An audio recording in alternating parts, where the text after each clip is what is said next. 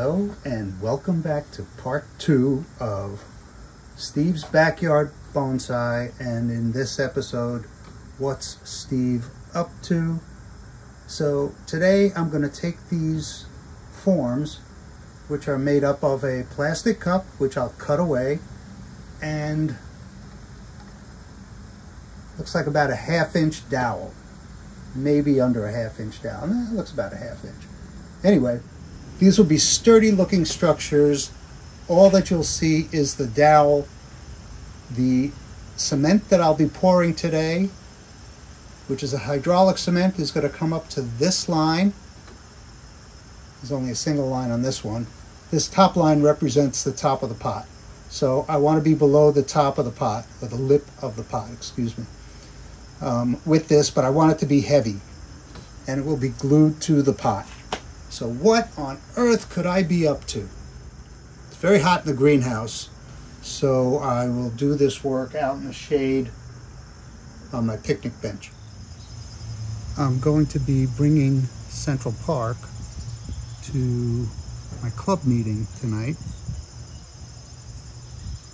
The Eastern Suffolk Bonsai Society. We meet once a month a Tuesday, usually the second Tuesday, but this month we got pushed back.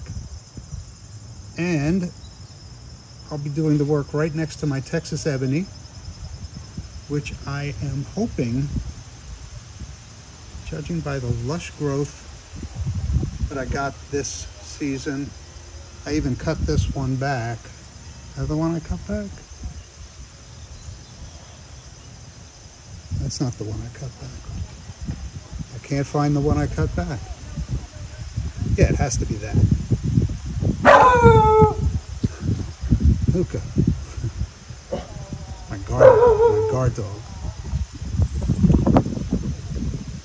All right, so I am hoping this little container here that I have taped shut and pinned down, it's got all new roots in it. Well, we'll see. All right, let's get to work. I'll mix up some cement, come back when I'm ready to pour. All right, I have a very thin and pourable mixture. These rocks are gonna come out. So this one I'll lie down. This one I'll just hold in place and pour my cement.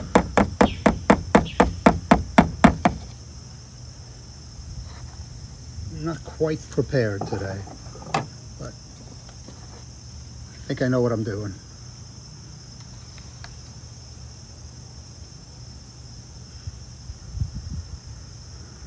Okay, that should be just right. Set this one aside. Pour this one up.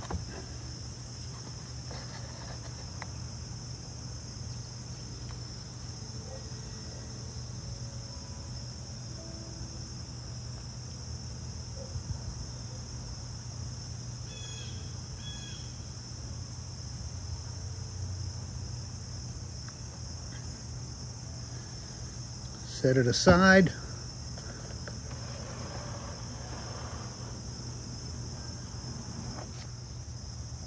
What on earth is Steve up to?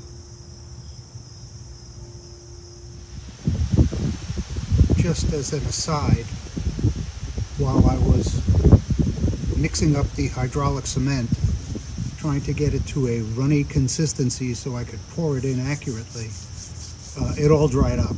So that went too fast. This is anchoring cement and I hope I get better results from it. It was kind of watery, I'm a little worried, but uh, I think it'll be a nice solid pour, which I will waterproof somehow beyond what uh, uh, the properties that it has uh, in itself. All right, come back at you in a little while.